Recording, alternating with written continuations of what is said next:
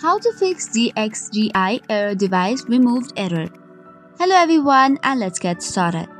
In this video, we will see how to fix the DXGI error device removed on your PC.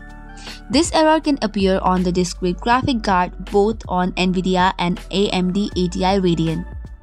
It usually occurs due to the response delay of graphics card if the graphics card cannot respond within the few seconds that it usually does. Window disable it to prevent system from crashing. Discrete graphic card are standalone graphic card that we buy for computers which are more powerful than the integrated graphics also known as dedicated graphic card. So let's get started with the solution.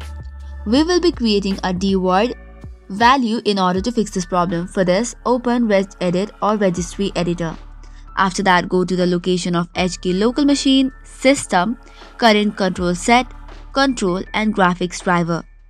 Once that is done, on the right side of the screen, right click and then tap in for the new.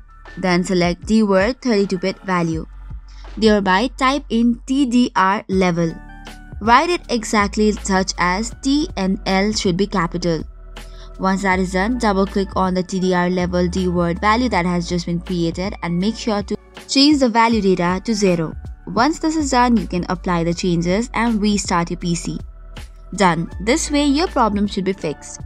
However, there are also some other steps that you can apply. The very first one would be updating your graphics driver, whether it is NVIDIA, AMD or Intel.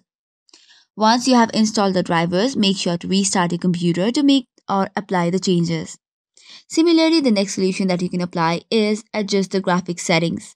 If you are using NVIDIA control panel, you can go to manage 3D settings and adjust the power management mode.